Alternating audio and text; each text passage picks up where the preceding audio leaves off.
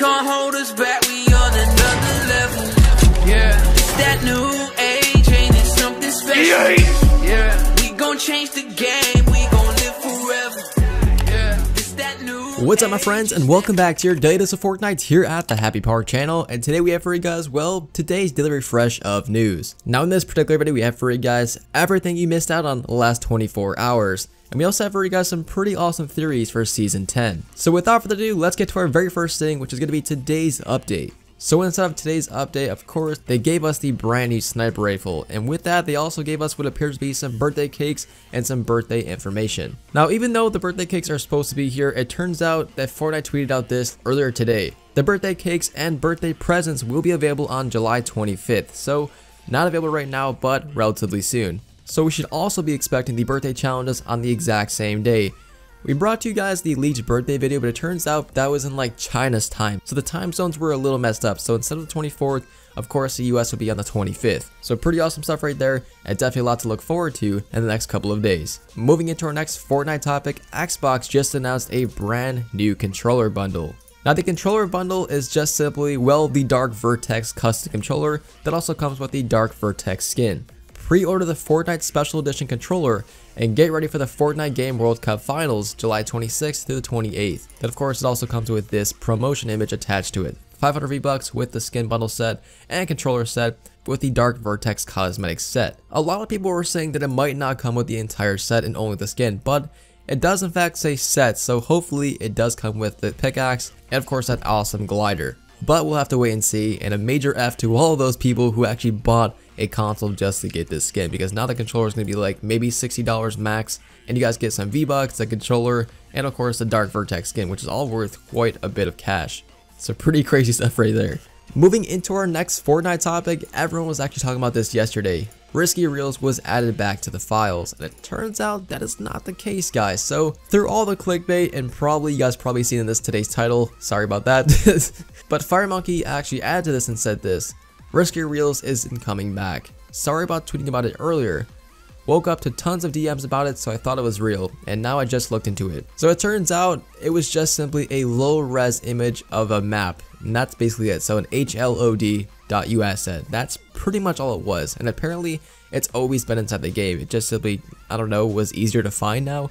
Not quite sure why this is the case but Nonetheless guys, it is not really new and we all don't really think it's going to be coming back anytime soon. Now also today, the overtime challenges are now available. Now the overtime challenges like skins themselves are actually quite important for season 10 and of course the hints towards season 10. Now I talked about this all day on my Twitter yesterday because it's actually quite important and now that it's easier to see, we can give you guys a full in-depth look. So with inside the overtime challenges, we have Bunker Jonesy, Stratus, and I believe the woman's name is Demi. So we have Stratus, Demi, and Jonesy Bunker. Or Bunker Jonesy. Wow, I just said that backwards for some reason. But yeah, you guys might have noticed something weird about these characters. One, Bunker Jonesy is older, which is actually in the title itself, but also, you guys can definitely tell instead of an actual, like, uh, a blonde beard, he actually has a gray beard, so he's most definitely older. But, if you look at Stratus, he actually got considerably younger, because his mustache is gone and overall his face structure is much younger looking. And as far as Debbie goes, well, she just kind of looks like maybe younger or maybe older. We're not quite sure as she just changed colors.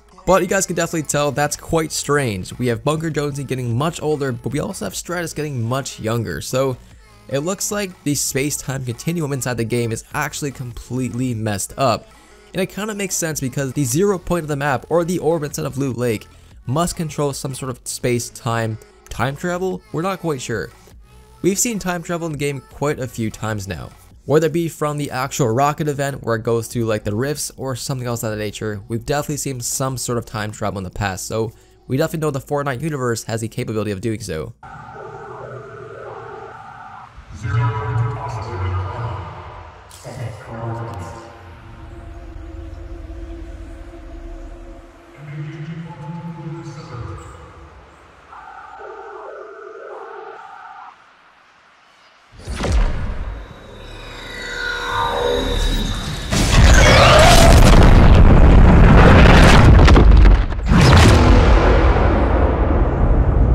Now with all that being said, it kind of leads me to think that Season 10 might actually be a time traveling season, or it might be various locations or a point of interest might be returning or returning to what they used to be in different time zones, or basically loops. So my theory about Season 10 is basically this. Season 10 will be a time travel theme, and during Season 10 we'll be seeing different time zones slash different point of interest in each part of the map because the time-space continuum has exploded or the zero point orb has exploded and give us, well, a whole bunch of rifts slash terrors in the universe. So space and time are completely messed up and all the point of interest are either old or very young and it kind of explains why the overtime challenges are either old characters or young characters. So pretty weird stuff overall and that's my personal theory and I'm definitely curious to see what your theories are down below. Now, over the past 4 days, the actual orb has changed a variety of times, and thanks to FortTory, we have guys each and every single day, so day 1, day 2, day 3, and day 4. Now, it looks like the cracks are getting bigger and some sort of light is coming out of it, so it's definitely going to be exploding probably by the end of Season 9, and of course, during Season 10, we'll be seeing a cutscene as far as what actually happens.